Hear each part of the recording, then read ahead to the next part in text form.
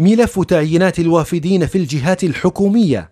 سيكون على رأس القضايا في جدول أعمال مجلس الأمة في دور انعقاد المقبل وفقا للنواب وفي ظل الأرقام التي تظهر زيادات مضطردة في تعيين العمالة الوافدة في القطاع الحكومي حيث ارتفعت النسبة إلى 30% وسط تعيينات برواتب وصفت بالخيالية. تدخل المجلس للتصدي بشكل ممنهج لهذه القضية أصبح استحقاقا لا بديل عنه. فقد قدمت عدة اقتراحات لوضع الأسس نحو وضع خارطة طريق للحل.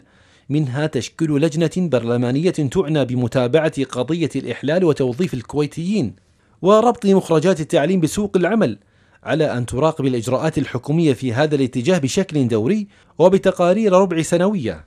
وكذلك إنشاء لجنة برلمانية للتحقيق في شبهة التجاوزات في القرارات الخاصة برواتب ووظائف الوافدين واستثناءاتهم وعرقلة سياسة إصلاح خلل التركيبة السكانية. والدعوة لعقد جلسة خاصة لبحث ملف تعيينات العمالة الوافدة وتركيبة السكانية بشكل مفصل. وفي منحى آخر لوح عدد من النواب باستجواب وزيرة الشؤون الاجتماعية والعمل هند الصبيح على خلفية تعيين الوافدين وأن العمل يقوم على قدم وساق لإعداد صحيفة الاستجواب وحشد النواب المؤيدين.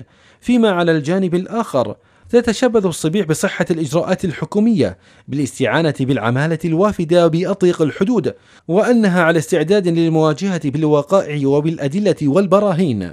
لتلفزيون مجلس طارق السهو.